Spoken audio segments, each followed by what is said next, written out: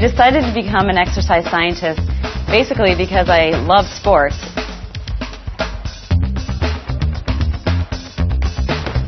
My name is Beth Mooradian. I'm a senior scientist at the Gatorade Sports Science Institute. Science is very cool. I love it.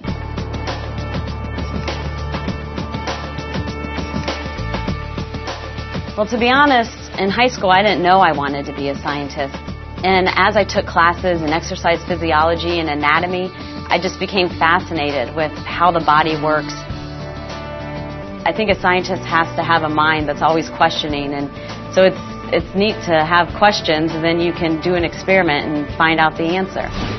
Beth and the other scientists at Gatorade continuously study how the human body fuels and cools itself. What I do to help amateur and professional athletes is to develop hydration strategies that are specific to that individual um, to really help them optimize their hydration and nutrition, which ultimately optimizes their health and performance.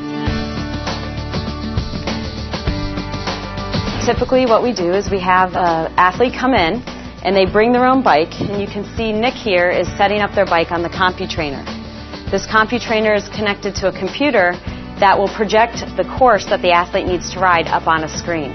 The computer also will control uh, the bike so that when it's going uphill, it puts resistance on the bike tire, and the athlete will have to shift their gears to be able to get up the hill.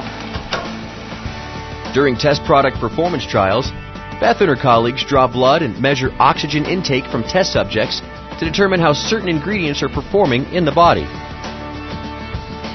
I love the people. I love being able to work with human subjects, meeting new people, and having some new experiences.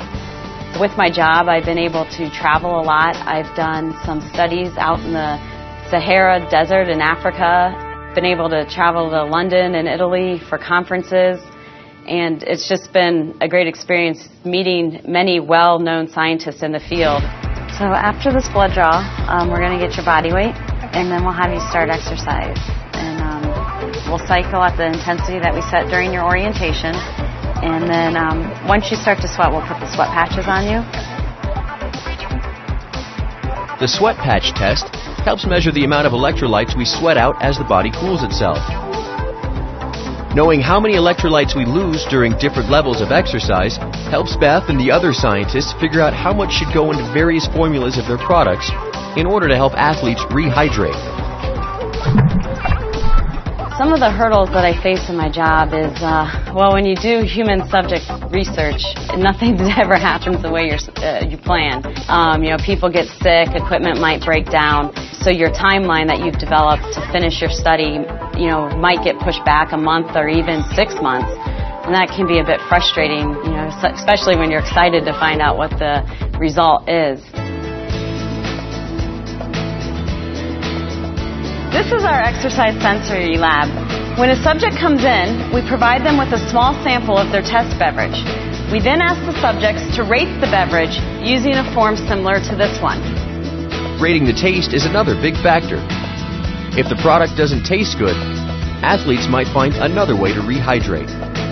I think more women are becoming scientists. I want to say because they're cool, but um, I think the, the stereotype is being shattered, and I think a lot of women have been interested in science for quite a time, and you know now they feel like they have the opportunities that they can go into the field and um, you know become brilliant scientists.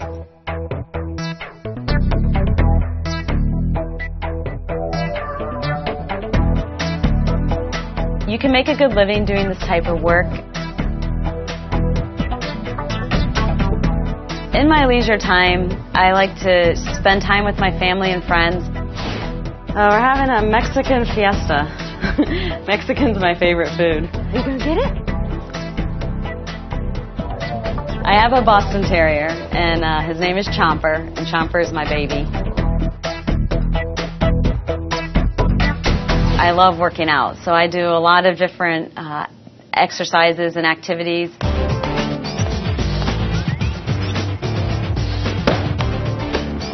I take karate, which has then spun off into mixed martial arts.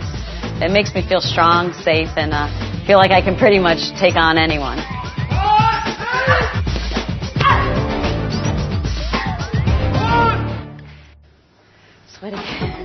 the most rewarding part of being an exercise scientist is being able to help people. When an athlete comes in and maybe they have cystic fibrosis, so they are losing a lot of salt in their sweat, and this athlete might want to do an Ironman triathlon. I can then develop a hydration plan for them and a fuel nutrition plan for them that can help them be able to complete that race and you know help them achieve their dreams.